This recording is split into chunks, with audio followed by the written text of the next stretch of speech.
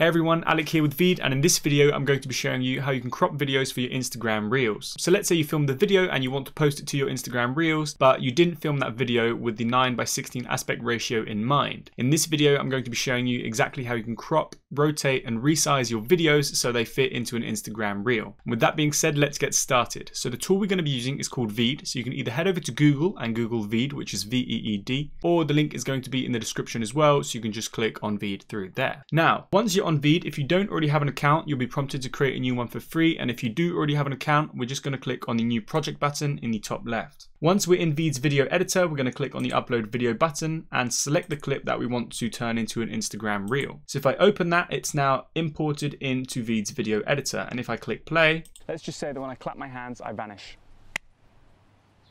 as you can see, I have my video. So the first thing you'll notice is that this video is the 16 by 9 aspect ratio and we don't want that. We want to turn it into the 9 by 16 aspect ratio, which is the Instagram reel aspect ratio, but that's also the same as an Instagram story. So to do this is very straightforward. In the top right, we have the canvas size drop down menu. If I click on this, I then have a bunch of different social media aspect ratios that I can choose from.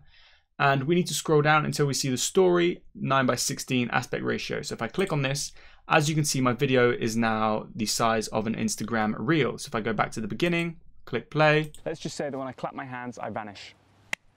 As you can see, I now have an Instagram reel, but you might be thinking, yes, but that's cropped out way too much of my video. Well, not to worry, if I click on the video tab, I can actually click on fit to frame and that will fit the entire video in the 9 by 16 aspect ratio. So if I choose to download it now, the whole video will be there with these two black bars on the top and the bottom. But what you can do as well is click on the video and drag it and resize it manually so you can fit it exactly how you want onto the video canvas. For an example, I could place it like this right here and then leave some space at the bottom to put some text or some subtitles. I also want to mention that you can change the background color. So if I want to make it green, for an example, I now have a green background. I've left a space at the bottom just to show you that I can add subtitles. If I click on the subtitle tab, use the auto subtitle tool and click start. Veed then automatically transcribes all of the audio from my video into text and turns that text into subtitles. So as we can see now, if I play it back from the beginning, I have my subtitles. Let's just say that when I clap my hands, I vanish. And obviously I'm only saying this one sentence, so there's only one sentence. Um, I can also move around the subtitle and I can also change the colors, change the presets. I'm going to choose this one with the white text and the black drop shadow.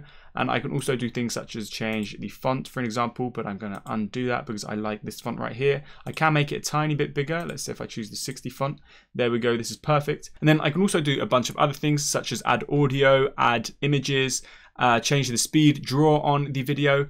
But once you're happy with your Instagram reel, you can go ahead and click on the download button in the top right. Then Veed will start to render your Instagram reel. And once it's finished, you can download it and then post it to Instagram. And that is how to crop videos for your Instagram reels. If you have any questions, please let me know in the comment section down below. I'll get back to you as soon as possible. If you enjoyed this video or you found it helpful, please give the video a thumbs up. And if you want to see more videos like this, don't forget to hit that subscribe button. Really appreciate it. Thanks for watching and we'll see you in the next video.